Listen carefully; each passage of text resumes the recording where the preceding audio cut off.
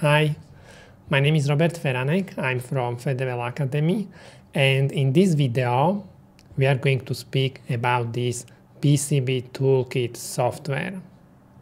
It is a free software, so anyone can download it. You can download it. And uh, I would like to speak about this software because uh, I use it a lot. I found it very useful, and I also recommend it a lot to other people. This uh, software is basically um, collection of calculators which uh, are useful for engineers. To download this uh, software, just Google for Saturn PCB Toolkit. Go on their website and uh, download it.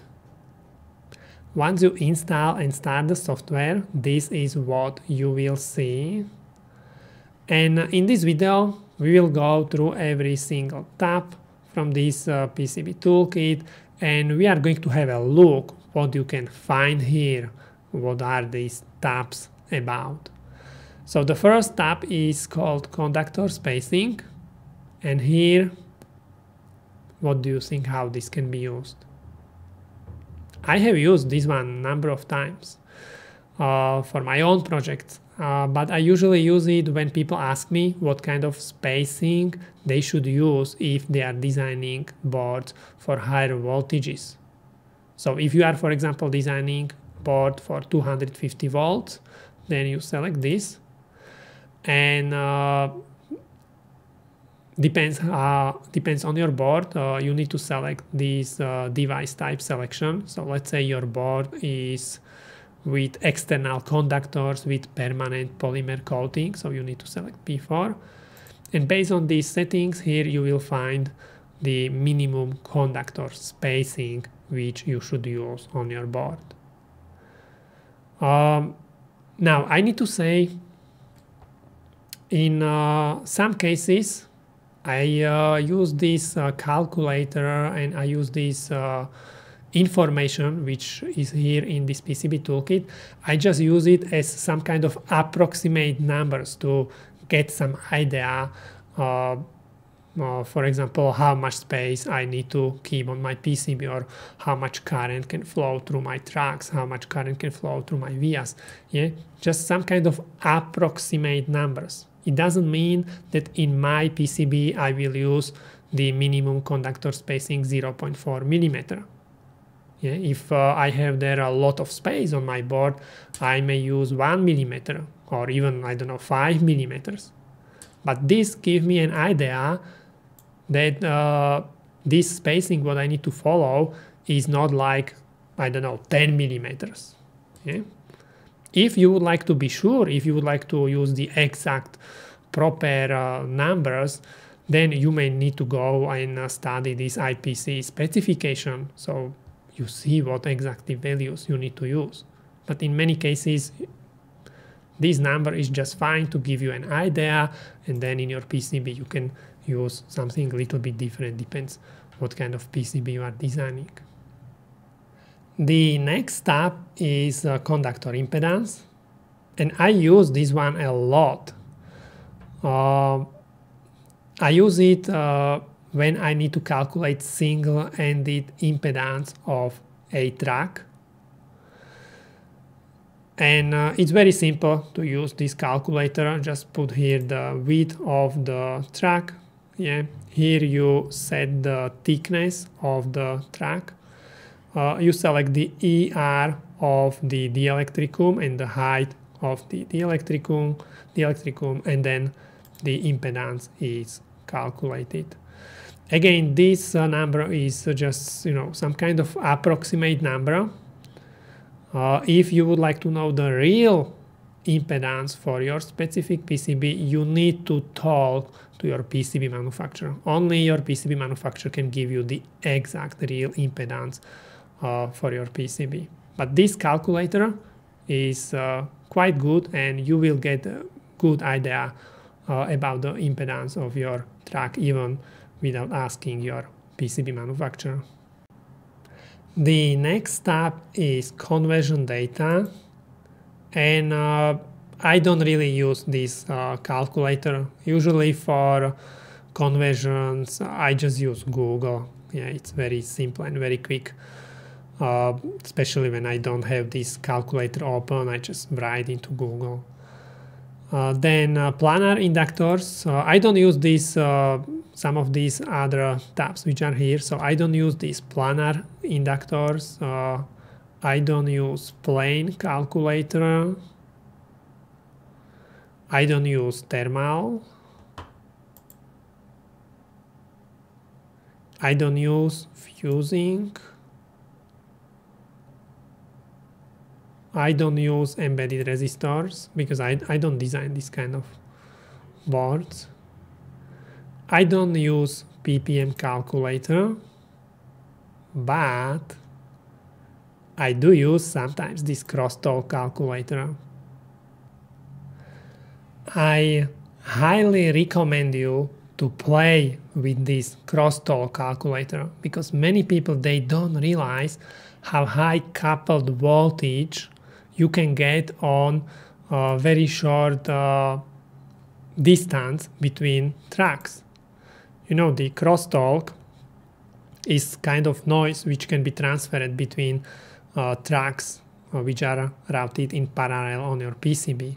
So when you play with this calculator, you can find out that it can be sometimes quite easy to have very high crosstalk on your PCB especially if you are using like two layer PCB, 1.6 millimeter PCB or 63 mm PCB. Watch the coupled voltage on so small or so short distance.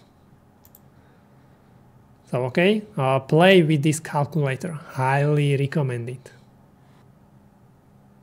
The next step is wavelength calculator. I don't use this one, but you know it can be interesting uh, to play with this one, so you can see what is the length of uh, of the waves in specific frequency. Yeah, uh, I don't use this one. I don't really use this, uh, but it can be useful for some people and uh, I don't use this one but I do use this calculator a lot. What uh, do we have here? I use this calculator when I need to calculate the uh, current which can flow through a via so especially when you are designing power supplies or when you are doing layout around power supplies on or the layout of power rails, uh, you may need to be sure that you use enough uh, vias to carry the required current. Yeah, so in this calculator you can uh, put here the parameters of uh, your via and here you can see the current which can flow through this specific via. So very, very useful. And this is uh, one of the uh, calculators which I use a lot uh, from this, or which I use maybe almost the most from all these uh, calculators which are here. The next step is uh, conductor properties. Very similar as for the vias, sometimes you may need to calculate the current which can be carried by a track and that's the situation when you can use this conductor properties uh, calculator. Here you will simply just put the width of your track. Here you will select the uh, copper thickness on your PCB and here you can see the current what, what can be carried by the track. Okay, so again, this can be sometimes very useful the next step is uh, bandwidth and max conductor length. I don't really use this one, but I do use differential pairs calculator. Very similar as uh, when we were speaking about conductor impedance. These numbers uh, or this impedance uh, which you will calculate here is not going to be exactly the impedance which you will get on your PCB. Yeah, because uh, during the PCB manufacturing process, some of the parameters and properties, some of the materials are going to change. For example, thickness of uh, this uh, isolation is going to change a little bit. So uh, in real PCB, these numbers may be a little bit different, but still the numbers which you can calculate here are quite good and they can help you a lot when you are designing your PCB stack up and when you are designing uh, or when you are thinking and when you are setting up the track geometry which you would like to use on your PCB. So in this differential pairs uh, tab, uh, you can calculate the differential pair impedance for different uh, situations. Here you just put the uh, parameters of the tracks. Here you will put the parameters of the PCB and here the impedance, the single-ended and the differential pair impedance is calculated. Now, very important, because I have seen many people making mistakes in this. Be sure uh, you set the total copper thickness right. Okay, this total copper thickness is the base copper weight plus plating thickness.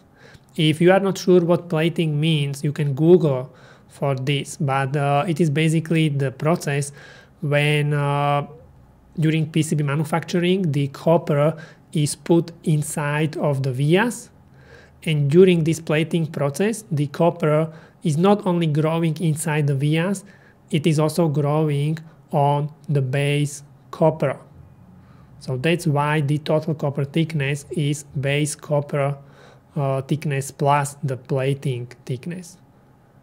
Okay, so be careful, don't forget to set the total copper thickness correctly when you will be calculating uh, these values. And it's not only about differential pairs, this is used in many calculators, so be very careful, always check the total copper thickness. The next step is padstack calculator. I don't really use this. And also I don't really use this mechanical information. And uh, that's everything for today's video. I really hope you found it useful and I would like to know what you are using. What kind of uh, calculators? Do you use uh, PCB toolkit or do you use different software? Do you use uh, online calculators? Leave comments, okay? I'm really curious to see what other engineers are using uh, during their job, what kind of calculators. Uh, okay, that's really everything for today's video. I would like to thank you very much for watching. If uh, you like this video, please don't forget press like button and uh, see you next time. Bye.